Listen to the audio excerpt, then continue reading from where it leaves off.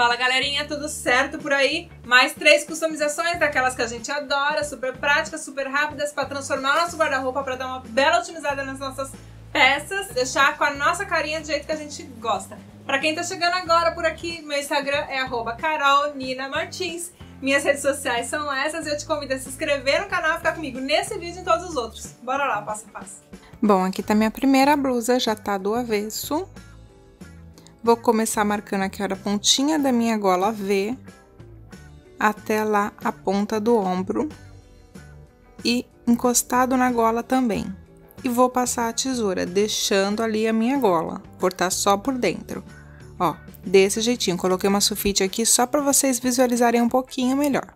Daí aqui agora eu vou pegar um pedaço de renda ou tule bordado, no caso do meu é um tule bordado. Posicionar em cima. Aí eu prendo bem com alfinete tanto de um lado como do outro, e vou costurar. Você pode costurar na máquina, na mão ou com cola para tecido, se a sua blusa não tiver tanto elastano. Se for uma blusa que estica muito, nesse caso não é recomendado cola para tecido, tá? Faz dos dois lados. Eu optei por agulha e linha para mostrar para vocês. Vou costurar bem delicadamente na gola, que tem ali um tecido duplo, então não aparece. E na parte de baixo, Costurei uma costurinha mais delicadinha para não aparecer muito. E ficou desse jeito, simples, porém um charme e tanto na nossa blusa.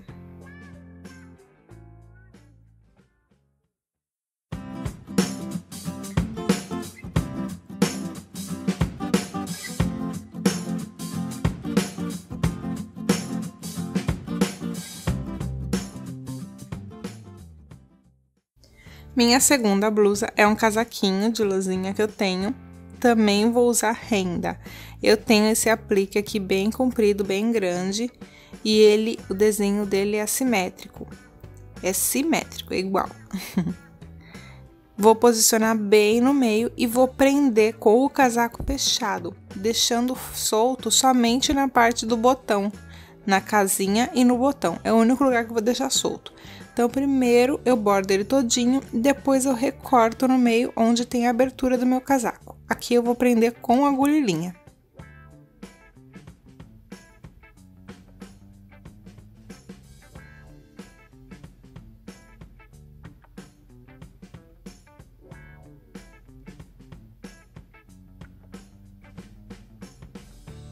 Desse jeitinho aqui, ó. Depois que eu cortei, é só você afrouxar ali um pouquinho a renda onde não tá bordado na casinha e fica desse jeito. Por ter colocado por cima, quando você veste, ele cobre bem e o desenho fica por inteiro do aplique, olha lá. A minha renda ficou com o desenho inteirinho.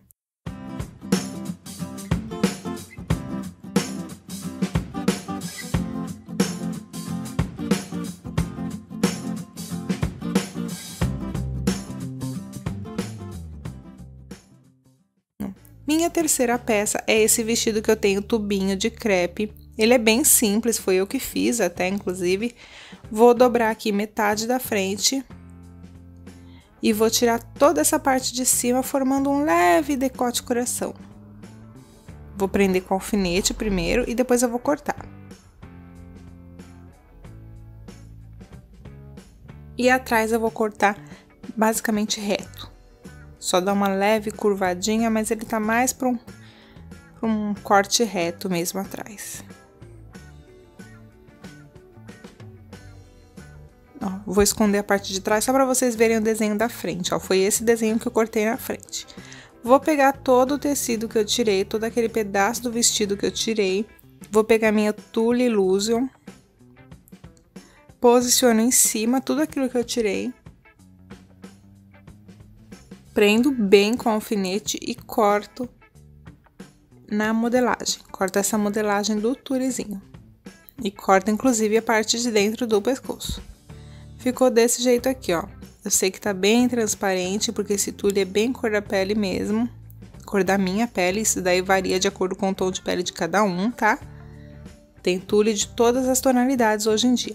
E agora eu vou prender, vou posicionar aqui no decote e depois na parte de trás, a parte reta, coloco na parte de trás. Aqui o ideal é que você costure na máquina de costura mesmo, tá, gente? Ficou desse jeitinho aqui, então você coloca um alfinete e dá um pesponto. Bate um pesponto na costura, ali na, na beiradinha. Para finalizar, eu vou pegar esse bico de renda preta que eu tenho, vou contornar todo o meu decote.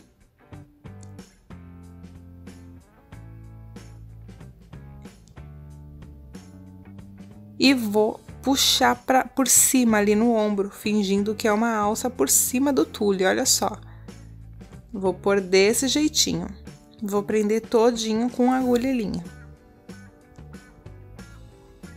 Por conta do tule ser com bastante elastano, o ideal é que você faça um, uma costurinha manual no zigue-zague. Vou pegar esse mesmo bico, é a mesma renda, na verdade, porém é o outro lado do bico, e vou dar um acabamento bem basiquinho ali na barra do meu vestido.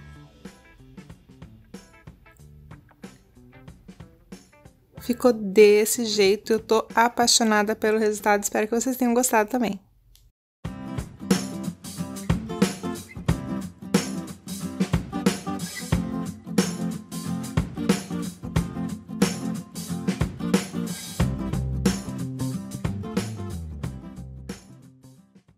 E aí, o que, que vocês acharam? Ah, ah, ah. Eu preciso mesmo falar qual foi o meu preferido? Acho que não, né? Esse daqui, nossa, eu tô muito, muito apaixonada por ele.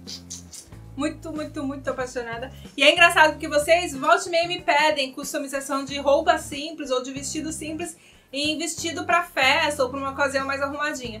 Esse modelo de, de transformação é perfeitamente para isso. No meu caso, foi um vestido mais do dia a dia, né? De oncinha ele é de crepe. A questão da ideia, do passo a passo em si, dá para adaptar tranquilamente para um vestido de festa. Até mesmo para um vestidinho branco, para vestido de noiva, um casamento civil ou mesmo longo, enfim. Dá para adaptar desse jeito, dessa customização, esse passo a passo. É muito fácil, tenho certeza que todo mundo consegue e transforma qualquer vestido simples num vestido bem bonito. Espero de coração que tenham gostado. Gostando, já sabe como é que funciona. Dá um cutucãozinho aqui embaixo para ajudar na divulgação. Se inscreve no canal se chegou agora por aqui e fique sempre, sempre com a gente. Beijo, beijo grande.